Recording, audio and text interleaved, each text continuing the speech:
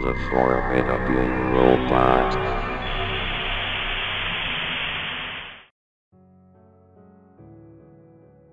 We got it from the second-hand store for a cheap price when I was about 10 years old. I remember being really excited to have my own TV set in my room. It was one of those 70s style TVs.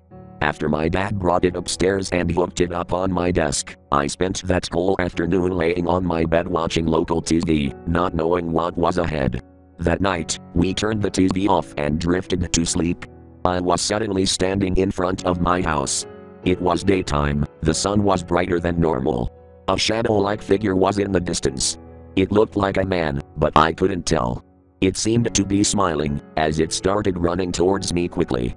I took off trying to get away. The shadow got closer and closer. It was about to catch me when I woke up.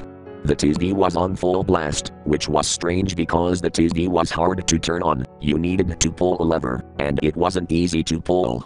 I shut off the TV so it couldn't wake up my brother and baby sister. I drifted back to sleep. Over the past week, things got even creepier. Every time I entered the room, I felt like someone was watching me, so I tried to avoid going in there. The nightmares became darker and felt more real. The shadow became more aggressive. I don't entirely remember, but it always had that haunting smile. The TV would always be on every time I woke up from a nightmare, even though I always shut it off before I went to bed.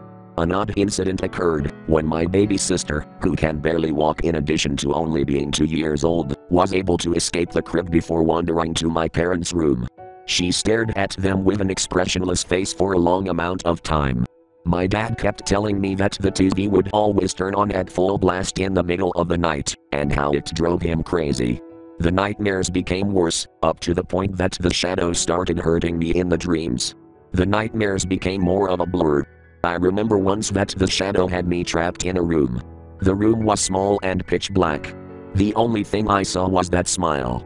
I saw it taking out a knife and jamming it into my chest. The pain felt so real, so intense. I instantly woke up and checked if I was alive. One morning I was in my room, playing my Game Boy happily, when I saw the shadow standing at my doorway. This time, I saw him clearly. His face was decomposing and he still had that horrific smile. He stared at me with those crazed eyes. It stood there for two seconds until it disappeared. I was frozen, unable to move or think. I was scared out of my mind. From there, I knew the TV had to be responsible for the strange activity. That same week, my family and I had enough of it, so we decided to throw that piece of shit in the trash. All the nightmares stopped and the heavy air lightened up.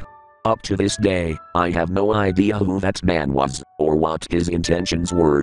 I guess the previous owner was attached to that TV and never let it go.